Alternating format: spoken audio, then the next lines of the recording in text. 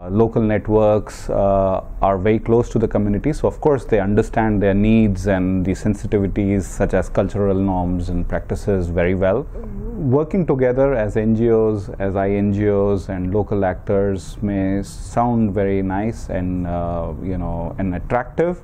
but it is equally challenging to work together because obviously each one of them comes with their own backgrounds and their own way of working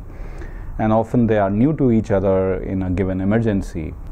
Uh, so sometimes the focus shifts from you know looking at what are the needs of the affected people to what are the uh, you know the the priorities for let's say the organizations themselves.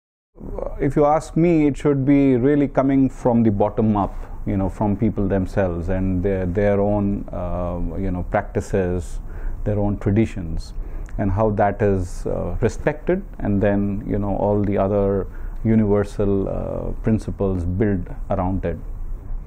Uh, one real challenge that I have faced in my own work is that uh, you know there are the more local you go, there are more dynamics that play, and if you localize too much, sometimes the people who are on the margins get further isolated in such cases. So you need to sometimes take on that leadership role and say, well, look here, you know, we need to go back to our humanitarian principles and make sure nobody gets left behind.